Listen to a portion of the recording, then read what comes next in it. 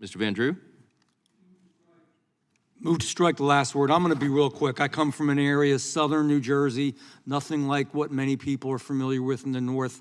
Lots of agriculture, lots of blueberries, lots of cranberries, uh, lots of farms, and, and farms certainly rely on workers.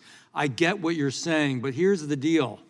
Um, we can't condone illegal activity, and we're doing it at every level. We just leave the border open um, just because of certain issues. What we need to do, and you said it very well, Ms. Lofgren, is that we need an orderly, legal way for people to be able to work part of the year and then go back. And we have that to some degree, but not nearly enough. That does not mean that we should say, yeah, it's okay for people just to cross the border because it may help certain people, because it's going to hurt a lot of other people. Because we're not just making sure that they're farm workers, we're not just making sure that they're people that are going to work on farms. We have people, again, I went through it before, that are related to the cartel, we're bringing drugs, who are, you know, hurting children and babies, and actually have, are using virtually slave labor. It doesn't work to allow, illegal equals no good. W- Would the It's just not gentleman good. yield?